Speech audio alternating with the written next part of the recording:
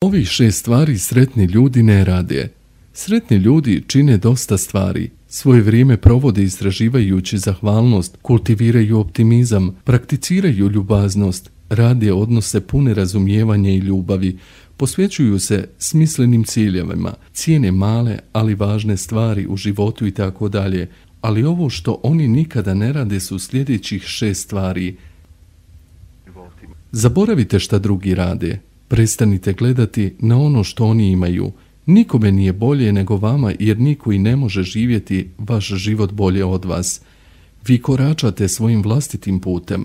A ponekad je razlog naše borbe s nesigurnošću taj što uspoređujemo naše stvarne okolnosti s javnim prikazima drugih ljudi. Mi slušamo buku svijeta umjesto da slušamo sebe. Prestanite se uspoređivati, ignorišite ono što vam odlači pažnju od slušanja svog vlastitog unutarnjeg glasa. Gledajte svoja posla. Svoje najljepše želje i najveće ciljeve držite blizu svog srca i posvećujte im vrijeme svaki dan. Nemojte se bojati što ćete hodati sami i nemojte se bojati uživati u tome. Ne dopustite da vas neznanje, drama i negativnost zaustave u vašim pokušajima da postanete ono što možete biti. Nastavite raditi ono što u vašem srcu znate da je ispravno za vas. Jer kad ste fokusirani na smisleni rad, gotovo vas ništa ne može uzdrmati. Kada ste jednostavno zadovoljni sa sobom, bez uspoređivanja i natjecanja, da biste impresionirali druge, svako vrijedan će vas poštovati. A ono što je još važnije, vi ćete poštovati sami sebe kada dopuštate da vas neko drugi definiše. To biste radili drugačije kada biste znali da vas niko neće osuđivati. Istini za volju, niko vas nema pravo osuđivati. Ljudi su možda čuli vašu priču ili mogu zamisliti da vas poznaju, ali oni ne mogu osjećati ono kroz šta vi prolazite. Oni ne žive vaš život. I stoga zaboravite što oni misle i govore o vama. Fokusirajte se na ono što vi osjećate o sebi i nastavite hodati putem koji bolje leži vašim nogama kojima se krećete. Oni koji vas prihvate, vaši su prijatelji. Oni koji vas prihvate, vaši su učitelji. Ako vam neko nešto kaže i to je istina, onda to nije vaš problem, jer je to istina. Ako vam neko nešto kaže i to nije istina, to također nije vaš problem, jer to nije istina. U svakom slučaju, šta god da vam govore, to nije vaš problem. Ono što vam neko govori je njihov problem. Ono kako vi nazivate sebe i šta vi odlučite postati jest vaš problem. Ne oslanjaju se na druge ljude i izvanjske događaje kako bi bili sretni. Nezadovoljstvo leži u procipu između onoga što imamo danas i što mislimo da nam je potrebno. No istina je da ne trebamo steći ništa više da bismo bili zadovoljni s onim što već imamo. Ne trebamo ničiju dozvolu da bismo bili sretni. Vaš je život veličanstven. Ne zato što neko tako kaže ili zato što ste stekli nešto novo, nego zato što ga vi odlučite takvim vidjeti. Ne dopustite da vaša sreća bude talac. Vi uvijek možete birati hoćete li živjeti i doživjeti. Čim prestanete stavljati sve i svakoga odgovornim za svoju sreću, bit ćete sretniji. Ako niste zadovoljni sada, niko drugi nije kriv za to. Preuzmite punu odgovornost za svoju vlastitu sreću i odmah ćete dobiti mogućnost da budete sretniji. Zaustavite uzaludno traženje okolnosti koje će vas usrećiti.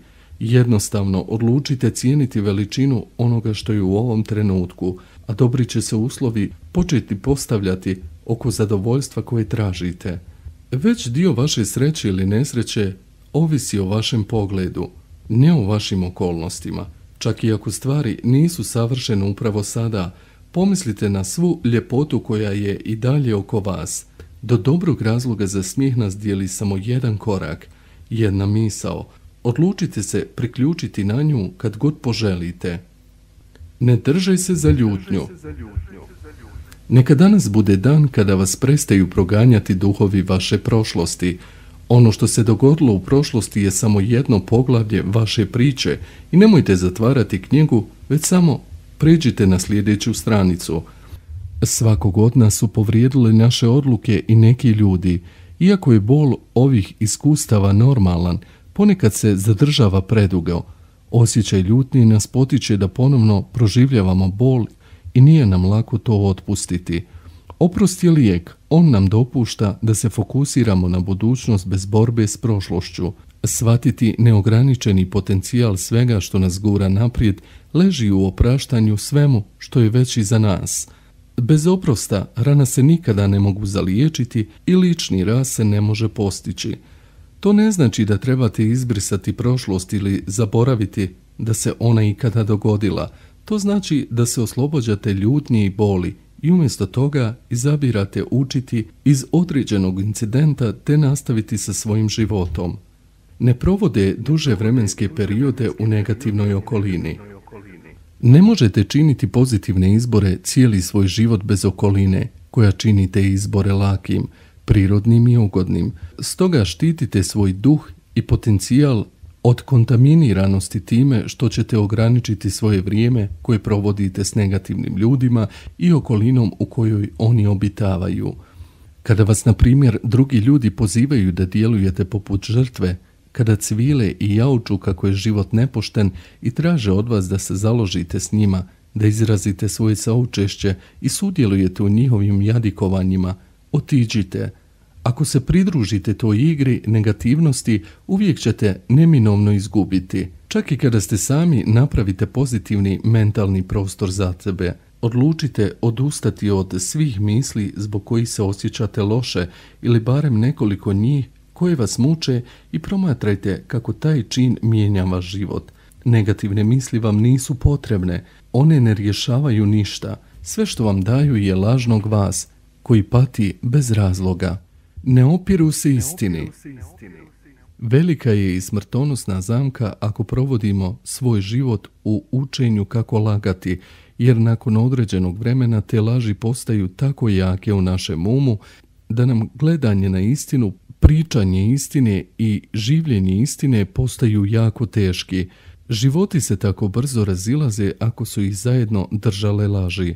Ako se opirete istini, svaki dan ćete živjeti u laži, a istina će vas proganjati noću. Ne možete jednostavno pobjeći od svoje istine ako se neiskreno pomjerite s jednog mjesta na drugo. I stoga nemojte se saginjati i pokušavati sakriti svoju istinu raznim obmanama. Nemojte mijenjati svoju dušu kako bi bili popularni. Bolje je uopšte ne ponuditi objašnjenje ili izgovor, nego ponuditi lažno. Za priznavanje istine potrebni su snaga i hrabrost, ali to je jedini način za pravi život.